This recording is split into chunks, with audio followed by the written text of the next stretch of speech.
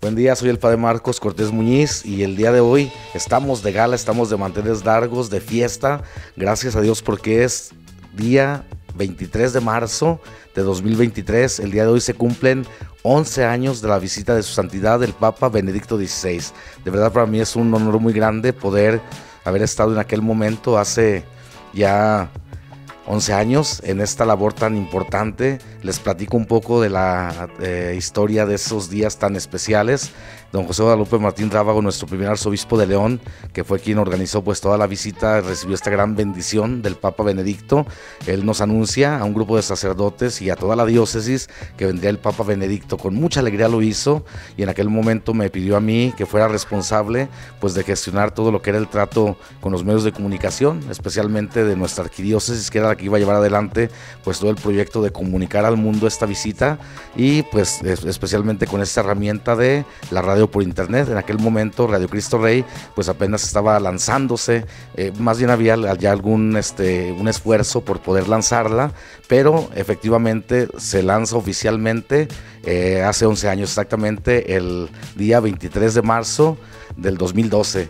Eh, se preparó de verdad con gran esmero. En cuanto nos anunció el obispo don José Guadalupe, que me anunció también este cargo, yo me, pues, me puse a la tarea, me di a la tarea de poder pues contactar, de poder convocar a un grupo de personas y al final, eh, junto con más personas, logramos ser 60 en la radio, Radio Cristo Rey. Entre ellos, pues estaban todos aquellos que iban a ser conductores de programa, los que iban a estar reporteando en las calles, quienes iban a estar en cabina máster, quienes estarían también eh, en teléfonos, también estaban los traductores, aquellos maestros que de la Salle también, pues nos se dieron a la tarea de poder hacer las traducciones en cuando en cuanto a un servidor le llegaban los mensajes del Papa, que era un poco antes de las celebraciones, eh, y venían en italiano. Yo los pasaba a los, a traductores y ellos inmediatamente se ponían a escribir y los lanzaban a, la red para que la gente que estuviera viendo la visita del Papa supiera en el momento lo que el Papa estaba diciendo. Era, fue una experiencia grandiosa. Fíjense que también ha sido una gran pues, bendición, una aventura, porque en aquel momento, 2012, yo estaba en el seminario menor eh, el obispo me pide que pues no que deje la tarea del seminario, más bien que pueda ocuparme ese tiempo, esos meses, sin descuidar la labor de, ser formador del seminario.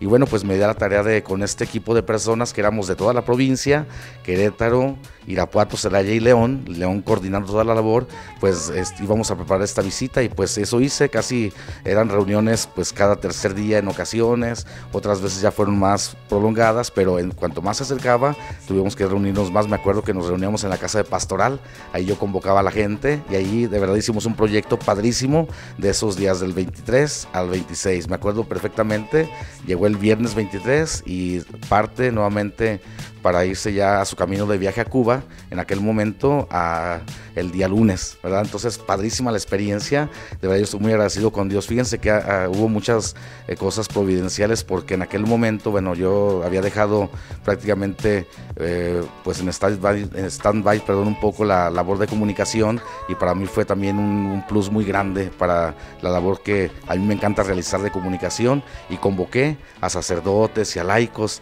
y también providencialmente de quienes estuvieron por allá en aquel momento, pues ahora también continúan en este momento que yo regreso a la comunicación.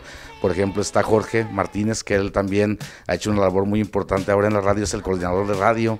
También, por ejemplo, ha hecho esfuerzos en, en otros momentos. El padre Carlos Conde, que todavía tiene un programa que luego vamos también a contactar, ya estamos con él en contacto, en donde está él ahora misionando para que también tenga un programa con nosotros en Radio Cristo Rey. También eh, está con nosotros, bueno, estuvo con nosotros el padre Adrián, que también ha colaborado en muchos momentos. Con él estuvo otro seminarista que él no llegó a ser sacerdote, el padre Toño Carranco, el padre Mauricio, que también con ellos hemos estado muy en contacto, porque también pues ellos han aparecido mucho en, en Radio Cristo Rey. Agradezco a Dios de verdad esta labor porque el día de hoy se cumplen 11 años. Para mí, ¿qué significó la visita del Papa? Una gran bendición, de verdad, una aventura tremenda porque a mí me, tocó saludarlo antes de esa visita. Yo lo saludé en 2005, gracias a Dios, cuando este, fui a estudiar a la ciudad de Roma. Eh, don José Guadalupe nos llevó a los sacerdotes que estábamos allá estudiando. Yo cuando anuncian su venida, yo la verdad tenía ganas de verlo nuevamente, lógicamente que era eh, diferente la, la, visita porque en aquel momento a mí me toca ir a saludarlo y en ese momento toca venir a visitarnos, recibirlo nosotros y de verdad que, que fueron experiencias grandiosas de, estar, sí, dentro de una cabina, pero también escaparme, ¿verdad? En aquel momento me acuerdo anécdotas muy padres que yo he contado en otros momentos y que también, ahora que Jorge es coordinador de radio, a él eh, por ahí me habló, me acuerdo que estaba bien emocionado allá en la valla de López Mateos, estaba muy cerquita de aquí de donde estamos ahora también en comunicación, y me acuerdo que me llama a cabina padre, tengo aquí eh, gente para que puedan hacer una, transmisión en vivo. ¿En dónde está? Le puedo llamar. Le dije, pues si quieres marcarme, pero yo también estoy aquí en la valla. A ver dónde estás. Asómate por ahí. Ya por ahí nos vimos y nos saludamos. Le dije, pues marca más bien la cabina porque yo me escapé. Yo eché una, una mentidilla piadosa, ¿verdad? A, mis compañeros que estaban en el programa les dije, ahorita vengo, voy aquí nada más abajo, pues a, a ver cómo está el ambiente. Pero en realidad me escapé a López Mateo. no fue una mentira, fue una razón muy grande para poder ir, lanzarme a experimentar lo que ya la gente estaba experimentando estos días, porque de verdad fue única la experiencia, la visita. El día de hoy para mí ha sido una bendición que desde 2017 me pide el arzobispo don Alfonso Cortés retomar toda la labor de comunicación y ahora también como responsable, como presidente de la comisión, estoy de verdad, me siento eh, agradecido, me siento muy conmovido y también me siento con una responsabilidad muy grande de seguir comunicando por los medios de comunicación la fe.